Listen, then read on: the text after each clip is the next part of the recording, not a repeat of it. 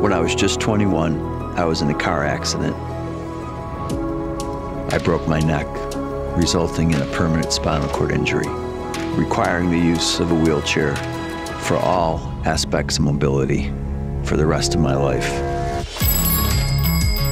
It wasn't always easy, but my community surrounded me with the care and opportunities that helped me create this amazing life. 41 years later, I'm honored to be this community for others and do it as someone who understands.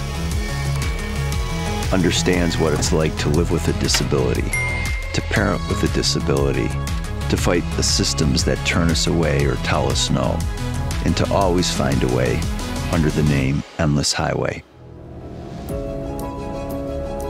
I started Endless Highway to provide financial assistance or mobility devices to kids with disabilities that needed help in getting into the game. But kids grow up, our interests and bodies change, and the pursuit of happiness continues on. So, since 2011, basketball chairs have turned into fleets of equipment for teams and schools. Sponsorships and financial assistance have been extended to support all ages.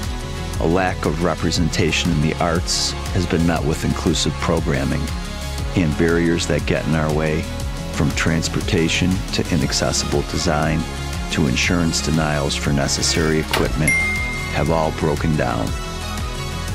I started with a single vision in front of me.